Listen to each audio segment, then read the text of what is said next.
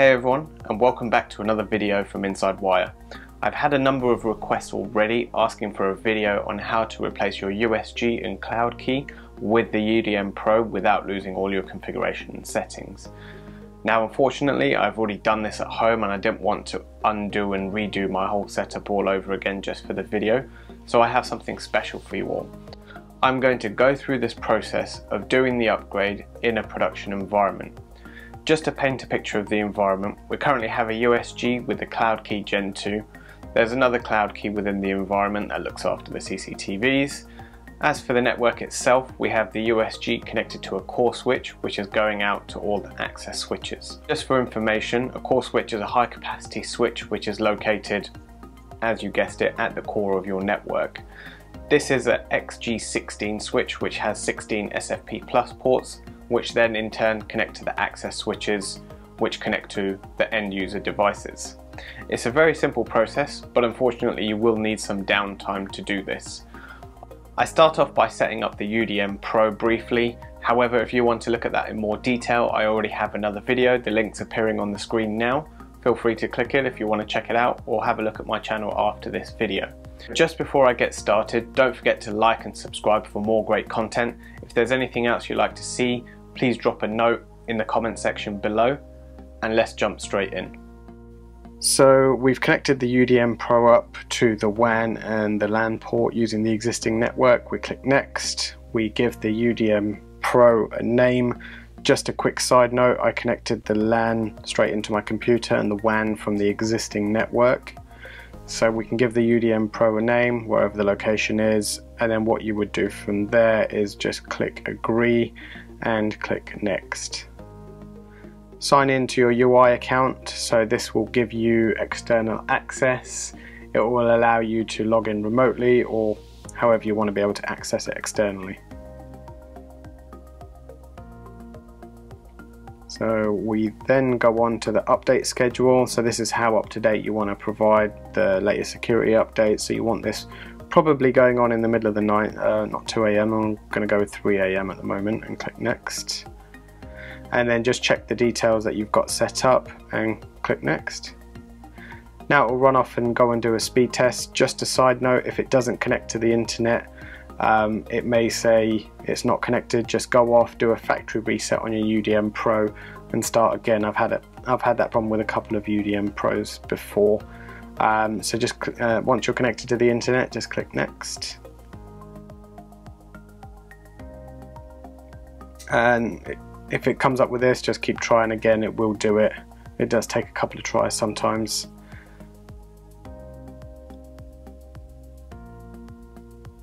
And there we go, it's running the speed test now.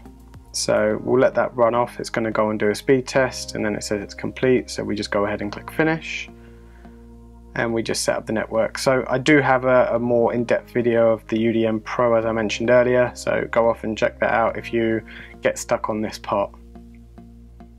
So it's going to go off now and do the device upgrade. This takes about five minutes or so and then you just want to refresh the page and you'll find that it comes back with this and you just continue. There we go, so now we can sign into the UDM, UDM Pro device.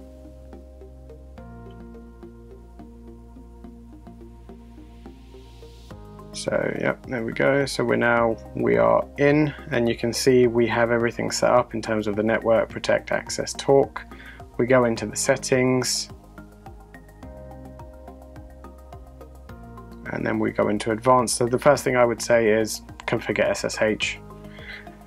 Get that done just in case you need access to it and something drastically goes wrong, you're going to want to get onto it via SSH. So just set a password, just click confirm.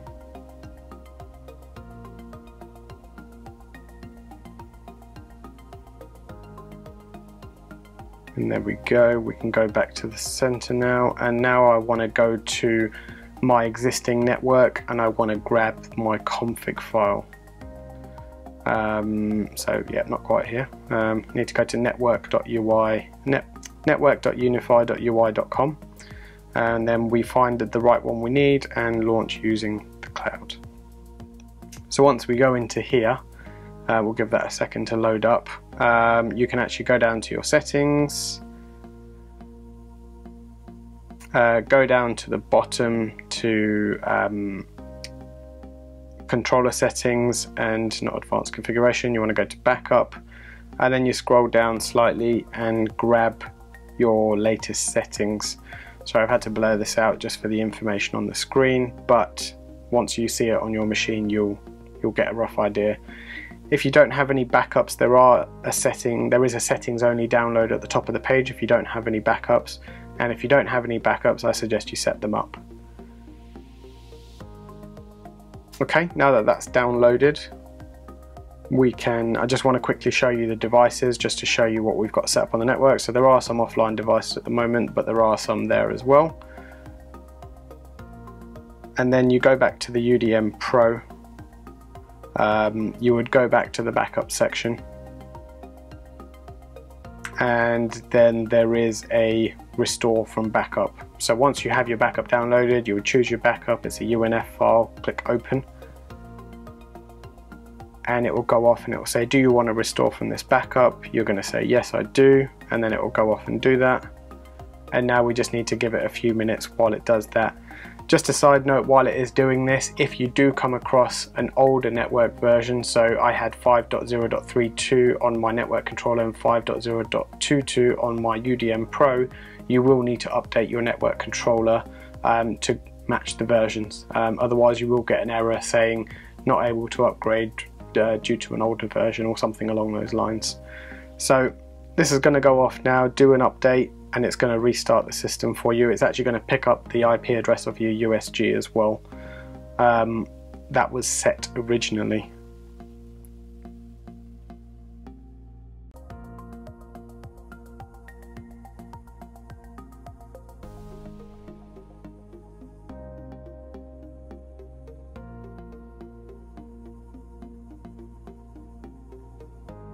Like I said, this only takes a few minutes. If it does, uh, if it does take a little bit longer, just hit the refresh button and just make sure you're back online.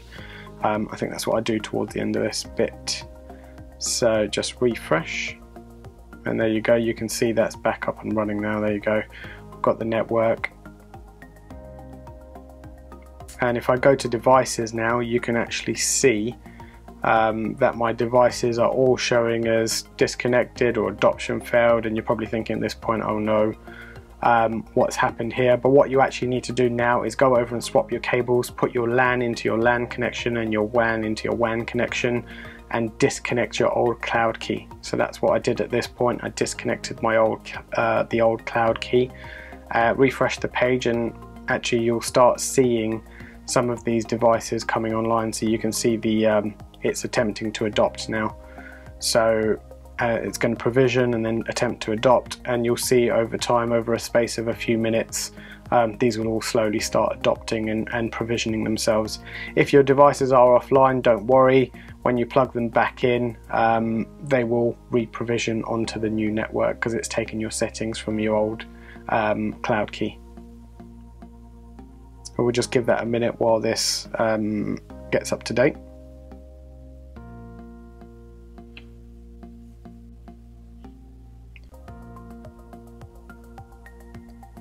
And there you go. That is literally as simple as that. Um, you just might uh, back up the file restore it put it on your UDM Pro and your devices automatically re-adopt themselves. You've got all your settings and you've got nothing else to worry about.